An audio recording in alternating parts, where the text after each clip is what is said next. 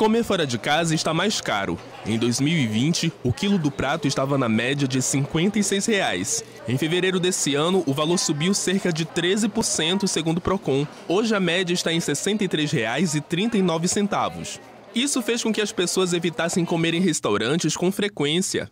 Eu venho por uma por uma necessidade esporádica, porque diariamente não dá para vir. Alguns estabelecimentos subiram o preço acima da média mostrada pelo Procon. Aqui o reajuste foi de 18%. Vários fatores, como o aumento na conta de luz, contribuíram para esse aumento, segundo a empresária. A gente teve aumentos assim, de óleo de soja em um ano, que é o mesmo período, 52%. Filé mignon, que é meu carro-chefe, 50%. Gás de cozinha, que eu abasteço meu restaurante, 22%. Energia, 34%.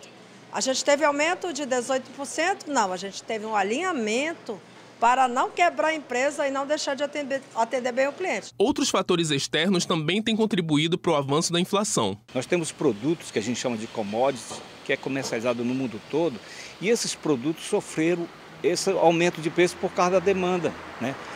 A Rússia é um grande produtor mundial, a Ucrânia também, ela, ela afeta o mercado mundial.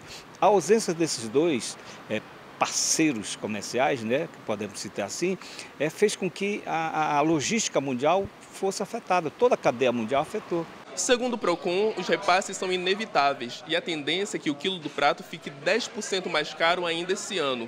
Caso o consumidor identifique cobranças indevidas, as denúncias podem ser realizadas na ouvidoria do órgão. É bem verdade que os alimentos ultimamente tiveram um grande aumento e, consequentemente, os restaurantes, sobretudo aqueles aquilo que vendem comida aquilo, também aumentaram. A gente orienta que o consumidor que se sentir prejudicado na relação de consumo, sobretudo pela forma com o que está se dando ali em relação a questões dos restaurantes, entre em contato com o Procon Amazonas pelos nossos canais oficiais.